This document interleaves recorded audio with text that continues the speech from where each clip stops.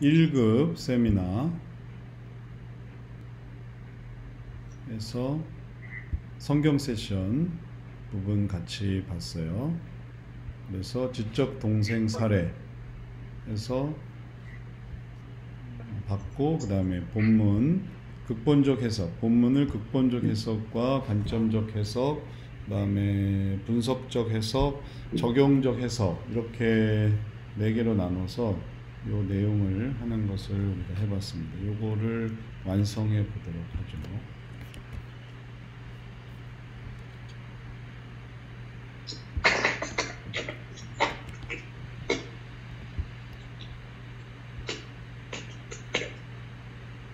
자, 이런 문제가 있는데 이런 문제를 어떻게 하면은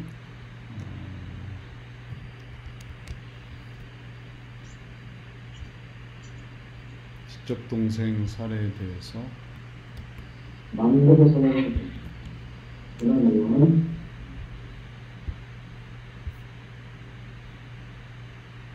네.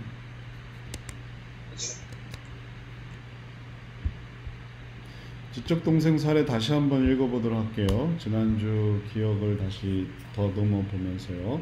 도와주세요. 올해 23살인 여동생이 있습니다. 제가 느끼기에 동생 나이 수준은 중학교 1학년 정도 되는 것 같습니다.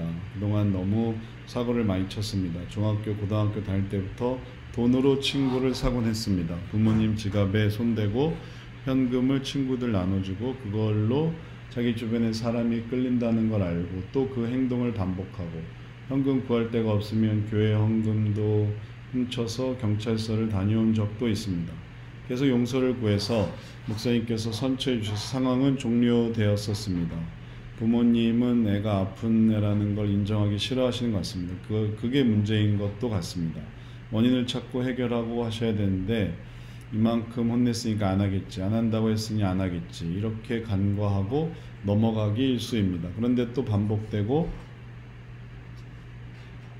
또 반복되고 그렇습니다. 분명 문제가 많은데 엄마는 일반 전문 대학을 보내서 유아교육과를 보내게 됐습니다. 물론 공부 못해도 들어갈 수는 있는 곳입니다. 실습을 나가게 됩니다. 어린이집 실습을 가서 원장님 가방에 또 손을 대고 또 주변 친구들한테 그 돈을 바칩니다.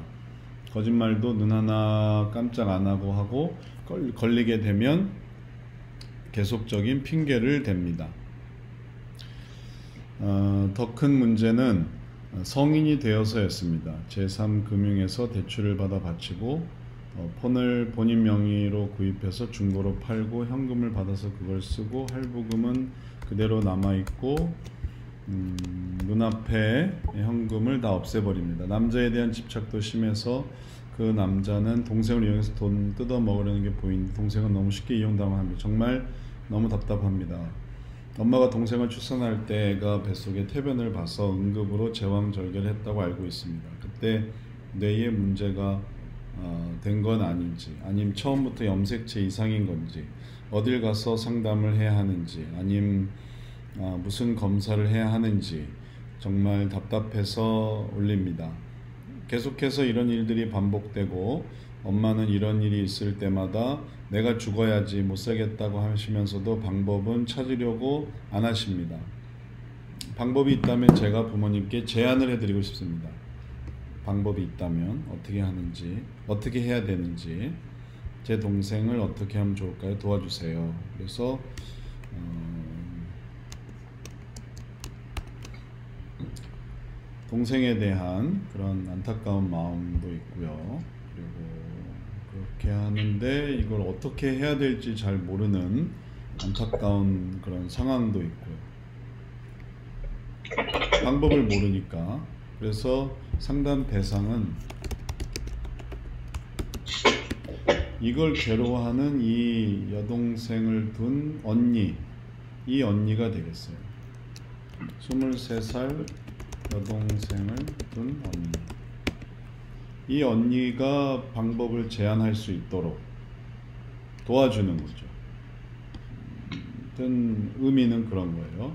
그러면 이 언니에게 이러한 전체적인 문제 어, 대상인 어, 23살 여동생의 악순환도 알려줘야 되고 알아야 되는 게 악순환이 뭔지 그래서 문제 유형이 뭔지 또 알아야 되고 그 다음에 어머니 계속 음, 받아주고 또 그것에 대해서 잘못 대응하는 어머니 어머니의 문제가 뭔지도 또 알아야 되고 그 다음에 거기서 자신이 어떻게 제안할 수 있을까를 또 알아야 됩니다. 어, 자신이 제안하는 방법, 수 있는 내용, 뭘 제안할 수 있는지 이런 것들이 알아야 하는 내용들이 되겠습니다. 이런 것들을 생각해 보면서 상담을 해 나가는데 성경 세션은 이런 내용들을 어, 가능한 어, 이해를 돕는 거예요. 그러니까 말로 설명할 수 있으면은 말로 하는데 말로 할 수 없는 부분에서 가능한 그거를 이해를 도울 수 있도록 상담 피상담자가 자기의 문제가 뭐고 그리고 그러한 문제를 어떻게 해결해야 한다라는 이해를 돕기 위해서 성경 세션을 하는 거예요. 그리고 이러한 성경 세션을 통해서 어, 상담에서 뭐 많은 말을 해줄 수 있지만 그 부족한 부분을 또 채워 나가는 거죠. 자, 그래서 본문이 무엇이든지 간에 이 내용을 잘 연결시키는 게 중요하다고 했습니다. 그래서 지난번에 우리 세션 내용 다시 한번 되새겨 보면 전체적인 선순환, 악순환을 알아가는 선순환을 만들어가는 전체적인 과정에서 놀이 세션을 할 수 있다라는 거고 그 다음에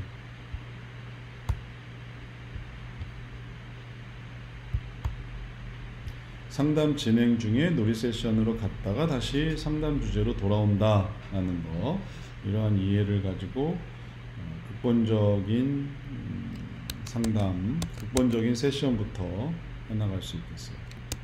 그래서 기승전결을 찾는다 하는 거고요.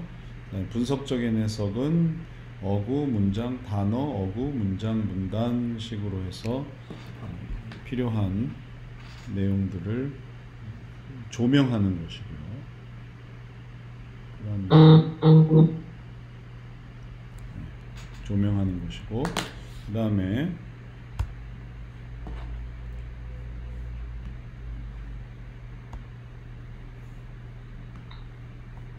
그렇게 조명된 어, 내용들을 통해서 어, 필요한 상담을 계속 진행해 나가는 게 원래 해왔던 상담을 진행해 나가는 게 중요한 부분이 되겠어요.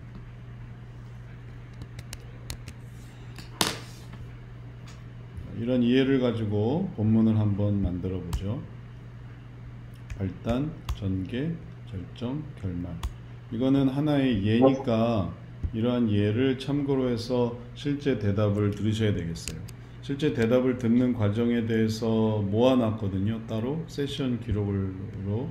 그래서 세션 기록에서 어, 뭘 할 수 있냐면은 여기 성경 세션 그리고 성경 세션에 보면 이제 주제를 어떻게 이제 진행하는가 주제에 대해서 옛날에는 뭐 개별적으로 어떻게 진행했는가 이런 것들을 주로 생각을 해봤는데 개개인별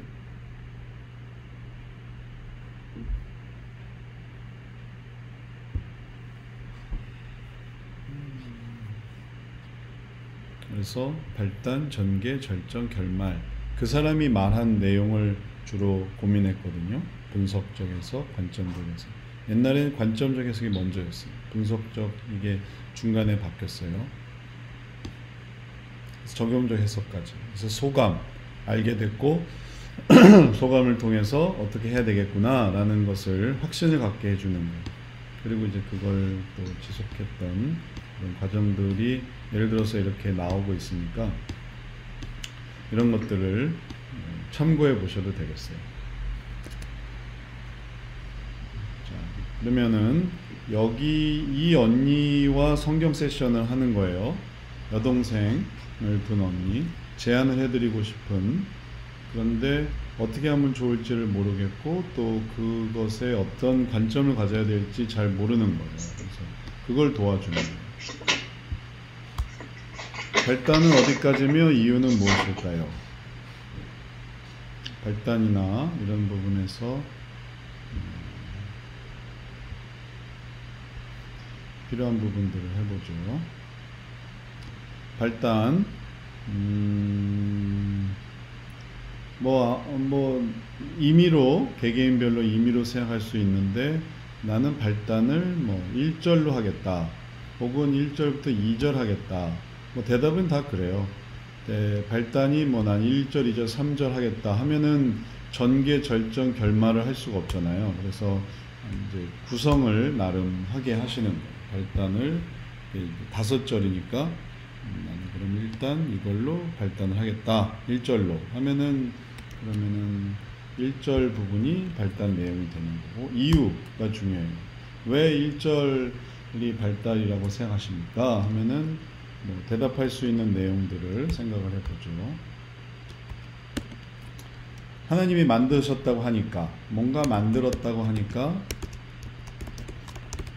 하니까 음, 예를 들어서 또는 천지가 만들어져서 져서 혹은 태초라고 해서 뭐, 기타 등등 시작이라고 말한 그럼 이제 아 이게 시작이구나 이렇게 해서 출발하는구나 이런 것들에 대한 이해를 하고 있다라는 것을 생각을 해 볼 수 있겠어요. 그 다음에 두 번째로 넘어가서 이유만 들으시면 돼요. 그럼 끝이에요. 간단하죠. 잠깐만요. 음, 전원을 좀 연결을 해야 되겠어요.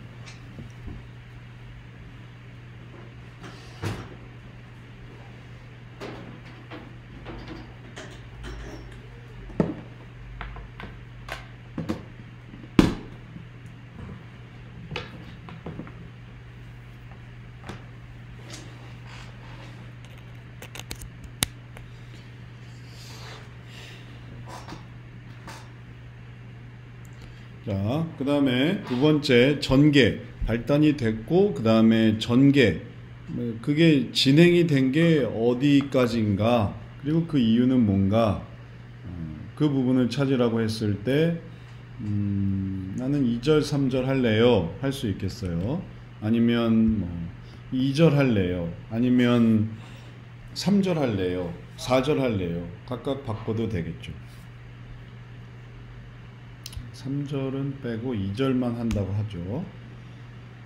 정답은 없어요. 임의로 다 정하는 거예요. 2절이 더 뭔가 의미 있어 보이네요. 땅이 혼돈하고 공허의 기쁨이 일하는 시민을 운행하시니라. 그래서 아, 만들어진 하늘과 땅의 어, 상태가 아, 이러했구나. 어, 만들어진 땅과 하늘이 이런 상태였구나라고 생각돼요. 상태였다는 생각이 들어요. 혹은 뭔가 운행하신다 하니까 어, 일이 일어나기 전의 모습 같아요. 전의 모습 같아요. 이런 식의 대답을 할 수 있죠. 실제로도 어떤 대답들을 했는가 하면 창세기 1장에 대해서 이런 대답들을 했어요.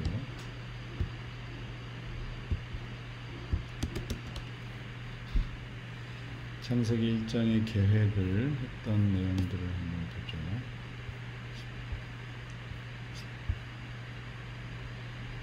계획을 알아보기 위한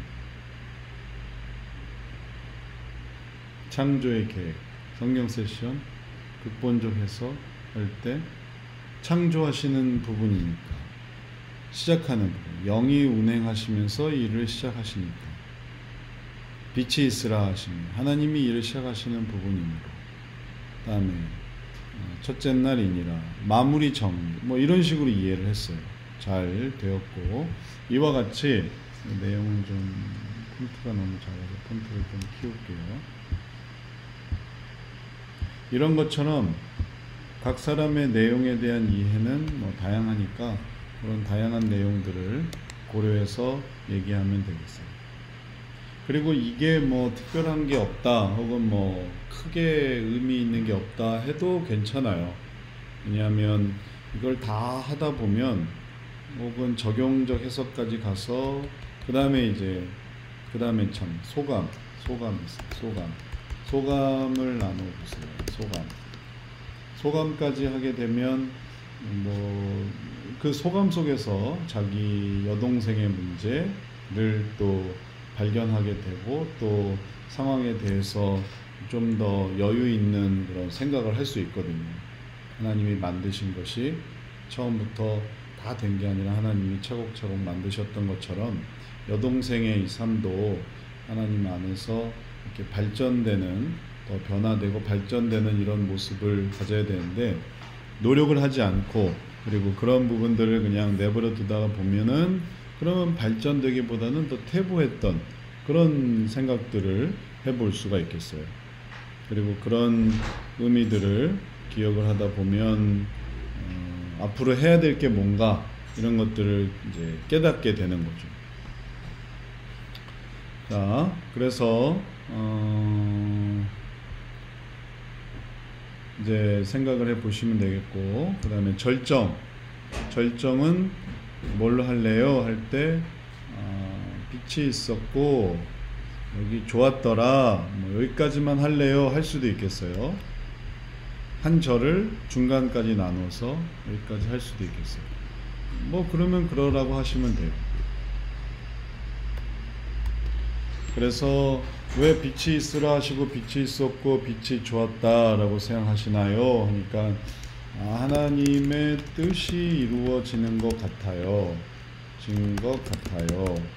그리고 하나님의 뜻을 이루면 그것이 보기가 좋네요. 꼭 이렇게 하라는 게 아니에요. 그냥 그냥 그렇게 할 수 있다는 거예요. 기상천외한 대답도 어떻게 그런 생각을 하십니까? 그렇게 생각하시면 안 되죠. 이러지 마시고 음, 그러려니 하시고 다 받아주세요. 왜냐하면 말하는 게 중요하지 생각을 끄집어내는 게 중요하지 이걸 주입시키는 게 아니거든요. 우리가 상담 과정에서도 우리가 함께 봤지만 이게 어찌됐든 간에 그는 자기의 생각을 드러내고 있어요. 악순환에서도 이러한 생각을 드러내는 거지 이 감추지 않는 것만도 얼마나 다행이에요. 놀이 세션을 통해서 속에 있는 생각을 끄집어낼 수 있어요. 아, 이런 생각이었구나. 그렇게 생각을 했구나. 그렇게 기상천외하게, 그렇게 좀 뭐 삐딱하게, 비판적으로, 아, 그렇게 생각을 했구나. 이거 나중에 다 악순환의 모습으로 이게 다 발견되는 내용들이에요. 그러니까, 음, 엉뚱한 게 아닌 거 주입시키는 게 아니라 끄집어내는 거예요. 그러니까 어떤 거든지 다 그렇게 받아주고 소감만 물어보시면 돼요. 그걸 활용할 생각을 하셔야 되겠어요. 이걸 했으니 뭔가를 받아들여야 돼. 이렇게 음, 강요하는 게 아니니까요. 그 다음에 마지막 결말. 결말은 어떻게 될까요? 결말은 어디서부터 어디까지며 이유는 무엇일까요? 라고 한다면 결말도 어, 뭐 어렵지 않죠. 결말을 찾는 것도. 그래서 아까 우리가 본 그대로 어, 나머지 부분이 결말이 되는 거예요. 하나님이 빛과 어둠을 나누사 이는 첫째 날이니라. 그리고 나머지는 자연히 형성되는 거죠. 그리고 중요한 건 왜 그걸 결말로 생각하셨어요? 결말로 선택하는 이유가 뭡니까? 그러니까 아, 저녁이 돼서요, 되어서요, 혹은 첫째 날이 지나갔네요, 지나갔어요, 뭔가 끝나는 것 같아서요.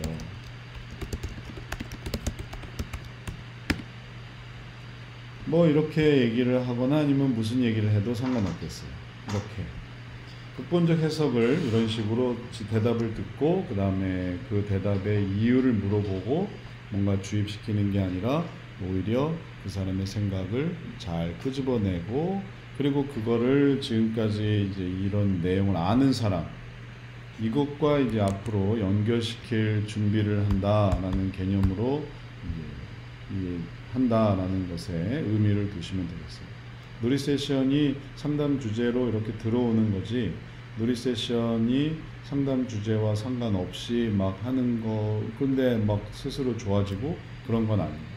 그래서 음, 이 내용도 요걸 만약에 더 진행한다면 아 그래요 그럼 알겠습니다 하고 관점적 해석으로 가는데 만약에 시간이 없다고 생각해 보세요. 그럼 여기서 소감을 정리하셔야 되겠어요 요게 하나의 요령입니다 극본적 해석만 할 수밖에 없는 시간이다 하면은 소감을 다 끝나고 한 번 들을 수 있는데 음, 여기서 소감을 듣는 거죠 아니면은 이어져 가는 거예요. 그러면 아 그렇게 되어서요. 그 다음에 이제 관점적 해석으로 이어져.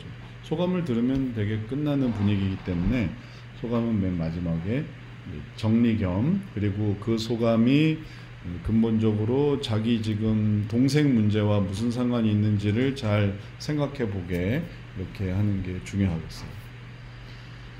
자, 우선은 이렇게 해서 극본적 해석에 대한 예나 그리고 얘기를 한번 해봤고 소감도 한번 들어볼까요? 소감 어떠세요? 소감. 그러니까 아, 우리 여동생도 완전히 지금 어, 하나님의 뜻을 잘 따를 게 좀 필요한 것 같네요. 뭐 이렇게 얘기되면 잘 된 거예요. 하나님의 뜻이 있는데 하나님께서 말씀하시는 게 있는데 그걸 따르면 좋은데 그런데 그걸 못 따르면 이게 계속 반복이 되고 어두움이 생기고 또 뭔가 어 문제가 더 생기게 되는 그런 모습인 것 같다. 이런 소감을 갖거나 아니면은 아니라 하더라도 우리 동생하고는 뭐 전혀 상관이 없는 것 같네요. 해도 괜찮아요. 그래서 좋은 소감, 좋은 소감의 경우는 동생의 모습도 하나님의 뜻을 따르면 좋아질 것 같아요. 하는 거고, 뭐, 음, 나쁜 소감. 소감. 음, 제 동생과 아무 상관이 없는 본문 같네요. 그러면 이제 원래 우리의 핵심은 이 놀이 세션을 통해서 주제로 들어오는 건데 주제와 들어오는 거와는 상관없이 오히려 더 멀어지게 생겼으니 이건 나쁜 소감이 되겠어요. 별 효과가 없는 거죠. 놀이 세션을 통해서 더 엉뚱한 데로 가버리면 안 되고 놀이 세션을 통해서 상담 주제를 이해하고 또 그것의 의미를 찾고 또 그것에 통해서 알게 된 점을 생각해 볼 수 있게 하는 거니까 그런 걸 찾게 하는 게 중요하겠어요. 자, 음, 하여튼 이 정도 얘기를 해드렸는데 여기에 대해서 어떻게 생각하세요? 궁금한 거 있으세요? 극본적 해석 하나만 뭐 어떤 생각해 봤어요. 이거를 하나라도 잘 해야 돼요. 이게 첫 번째 관문이에요. 그래야 이게 중요한 부분을 잘 나눌 수가 있겠어요. 이거는 그냥 뭐 실패하고 다음번에서 잘해야지. 그렇게 되면 좀 곤란해요. 하여튼 잘 이해를 하셔야 되겠습니다. 마이크를 켜주세요. 마이크 켜시고. 네, 제가 지난주에 참석을 못했어요. 아, 네. 지금 예 이게 지금 이렇게 연결되는 거를 그 이런 이게 지금 인터넷 상담으로 들어온 건가요, 그래요? 이게 지금 우리가 어떻게 하고 있는 거냐면요. 네. 어, 지난주에 우리 1급 세미나 내용에 나와 있는데, 음, 아, 제가 못 봤어요. 아, 네네. 그, 예를 들어서, 어, 세션 내용을 지금 우리가 함께 살펴보고 있어요. 사례 연구가 아. 아니고, 과목, 네. 과목을 살펴본 거예요.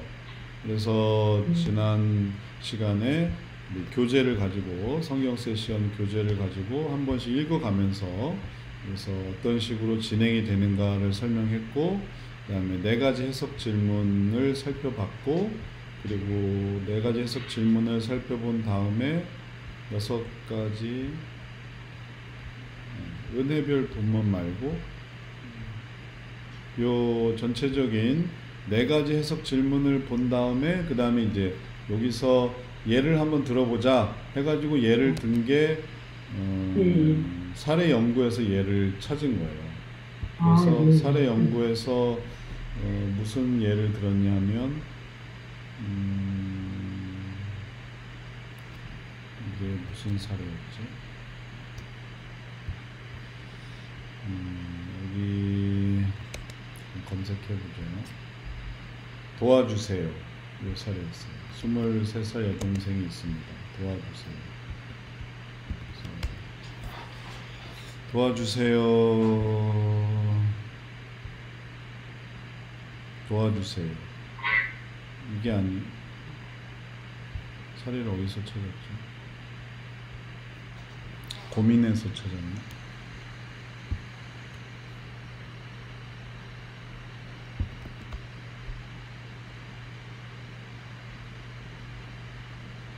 동생이 지적 장애인 것 같습니다. 도와주세요. 네, 여기서 찾았네요. 행동장애 실제 고민을 올려놓은 분이었어요. 이런 분이 회원가입을 해서 도와주세요. 그래서 이렇게 된 거죠. 네, 뭐 그렇게 설명을 드릴 수 있겠습니다. 그래서 그런 경우에 성경 세션을 이렇게 할 수 있다라는 거를 지금 살펴보고 있는 거예요. 네. 네, 또 다른 질문 있으세요?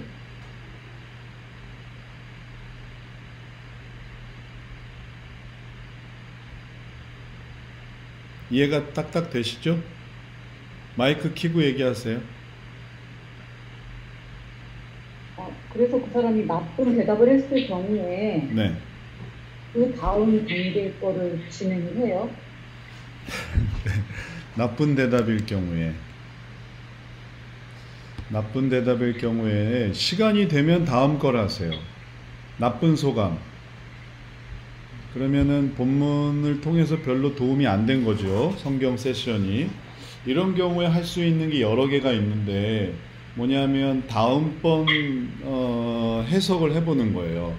어, 왜냐하면 극본적 해석으로 자기 문제를 생각해 보게 했더니 별로 뭐 도움이 안 된다 했으니까 그러면은 관점적 해석으로 또 생각해 보고 분석적 해석으로 적용적 해석으로 다 해보고 근데 만약에 이걸로도 다 안 된다라고 한다면 그러면은 세- 성경 세션을 자체를 좀 한번 고민해 볼 필요가 있어요. 성경 세션이 이 사람한테 정말 맞는 건가? 왜냐하면 성경을 통해 어, 깨닫기를 바라고 성경을 통해 어, 뭔가 실마리를 얻기를 바라면은 어떻게 해서든지 이 둘을 연결시킬 텐데 성경을 통해 오히려 반감이 있는 건지 뭐 자기 문제랑 뭐 전혀 외면하게 된다면 그러면 이제 다른 세션을 해야 되는 거죠. 나쁜 소감일 경우. 그래서 나쁜 소감일 경우에 할 수 있는 방식은 두 가지예요. 음, 있을 경우에는 다음 어, 질문 해석 해석 질문을 한다라는 거랑 두 번째 다른 세션을 한다라는 거예요. 둘 중에 하나를 할 수 있겠어요. 그러니까 그걸 공통적으로 하는 건 뭐냐면은 나쁜 소감과 씨름을 하는 건 아니에요. 나쁜 소감을 가졌기 때문에 당신이 바뀌어야 됩니다. 나쁜 소감을 가졌기 때문에 당신은 뭐 어, 변화돼야 됩니다. 해서 멱살을 잡고 이렇게 가는 건 아니에요. 왜요? 오소미사님 왜 깜짝 놀라세요? 말씀해 아, 보세요. 예. 갑자기 감기 기운이 도는 것 같아가지고. 아, 네네. 아, 이문숙 사모님 보고 놀래서, 놀래서 그러셨구나. 예. 자, 내용에 대해서는 뭐 편하신 대로 하세요. 내용에 대해서는요, 다른 거 궁금한 건 없어요?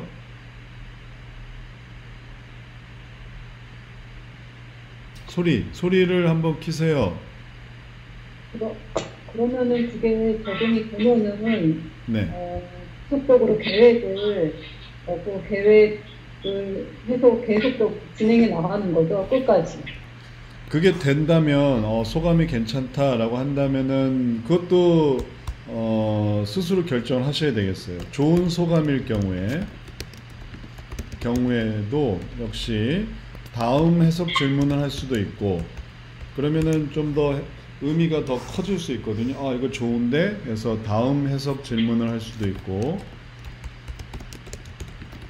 그 다음에 어, 좋은 소감을 갖고 뭐 다른 특별한 이유가 있다면 굳이 이걸 완료하지 않아도 원래 하던 상담을 진행한다. 이렇게도 갈 수가 있겠어요. 말하자면 놀이 세션 한 번에 뭐 제대로 이해를 했다라고 한다면 그럼 자연스럽게 얘기가 원래 얘기로 돌아가고 그럼 난 어떻게 하면 되지요? 뭐막 어, 정말 하나님의 뜻을 따르는 게 필요했고 내가 그걸 지금까지 잘 몰랐네요. 뭐 이런 어떤 자각을 하고 그걸 음, 막 하고 싶은 마음이 막 든다면 굳이 뭐 성경 세션 어, 얘기할 필요가 없죠. 성경 세션이 여기 있어요. 네. 그럴 수도 있겠어요. 각각 가능합니다.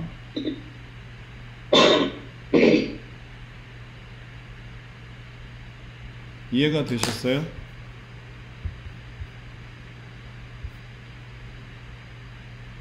고유미 권사 예예 계속 말씀하세요. 결과는요. 예? 성경 계획에 할 필요는 없겠다고요. 잘 이해가 됐으면 계획을 굳이 지속할 필요는 없다고. 지속해도 되고요. 그러니까 어, 도움이 된다 싶으면 더 하시고 뭐 적절하다 싶으면 안 하셔도 됩니다. 그러니까 이거는 꼭 끝까지만 해야 된다 이런 개념이 아닙니다. 좋으면 계속 하는 거고 뭐 적절하면 그만하는 거고 나쁘면 다른 걸 하는 거고 그래서 항상 상담자가 이걸 듣고 대응을 하셔야 돼요. 그래서 예전에도 우리가 이거를 세션으로 어, 세션으로 어, 하지 않고 어, 세션 상담사를 따로 세션 상담사를 따로 두지 않고 기존 상담사가 하는 건 뭐냐면은 세션으로 했더니 어, 예전에 어떻게 했냐면은 상담자가 의뢰를 해서 어, 그것만 하는 다른 상담사에게 넘겨서 그걸 진행하게 한 거예요. 근데 그러니까 세션 담당자가 돼버리니까 이걸 반드시 해야 하는 어떤 책임감을 가지고 처음부터까지 다 하게 됐죠. 근데 하다 보니까 원래 상담으로 돌아오고 싶고 원래 얘기도 하고 싶은데 꼼짝없이 그걸 뭐 듣게 되거나 뭐 이런 경우도 있어서 그럼 좀 유연하게 하자 해가지고 이제 상담사가 어, 전체를 다 한 그 그 중에 뭐 일부를 할 수도 있고 전체를 할 수도 있고 이렇게 바꾼 거예요. 그래서 그거는 진행자가 결정하셔야 되겠어요. 또 다른 궁금한 거. 만약에 상담 상담자가요, 목사님. 네, 네.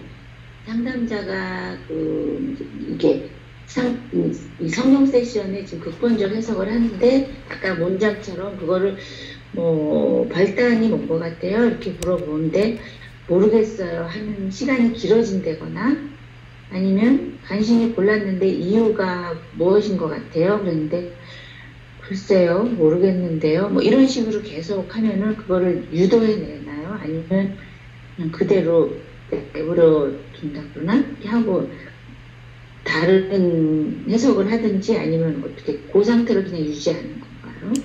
그 좋은 질문인데 실제로도 그런 경우가 있거든요. 예를 들어서 뭐 청소년 상담을 할때 청소년들이 성경 세션을 해보려고 할 때 태도가 그렇게 적극적이거나 혹은 또 어, 능동적이거나 이제 그렇지 않은 경우가 있죠. 하기 싫어하는 음, 뭐 그렇죠. 초등- 초등학생 대해서 거부감이 있든지, 거부감이 있든지. 뭐 하는 건가, 아, 아니면 나 이거 하기 싫은데요 하는 태도로 하고 있으면 네. 어떻게? 그렇게 될 때는 아까 말씀드린 것처럼 세션 완전히 세션을 바꿀 수도 있어요. 다음 해석을 해 볼 수도 있는데 이거는 아, 이게 극본적 해석도 이런 식으로 나오면 다른 해석도 뭐 계속 이제 부정적인 피드백이 나오겠다 이런 판단이 쓰면 이걸 굳이 할 필요가 없는 거예요. 그러면은 그냥 다른 세션을 하는 거예요.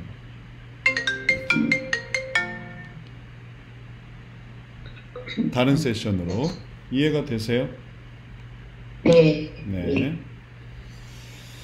자, 그러면 그렇게 해서 진행하도록 하고, 음, 자, 우리 잠깐 쉬었다가 이어서 계속 하도록 하죠.